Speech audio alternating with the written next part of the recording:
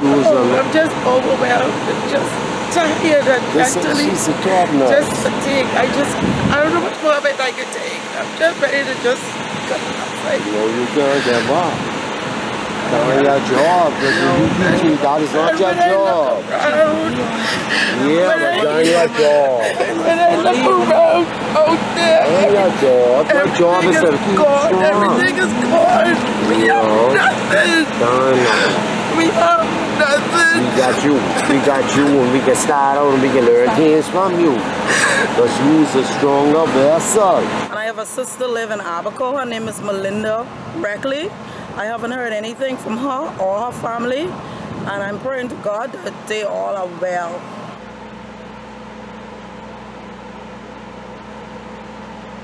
What would you like the people outside of the Bahamas and the rest of the world to know about?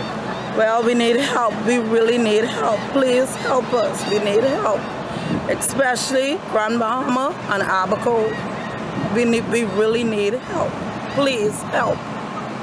When you say help, you mean shelter, you mean food? We need shelter, we need food, we need uh, medications. We have a lot of persons here who don't have anything, who don't have anything, not even a cot to sleep on. In fact, they don't even know where they're going to rest their head tonight.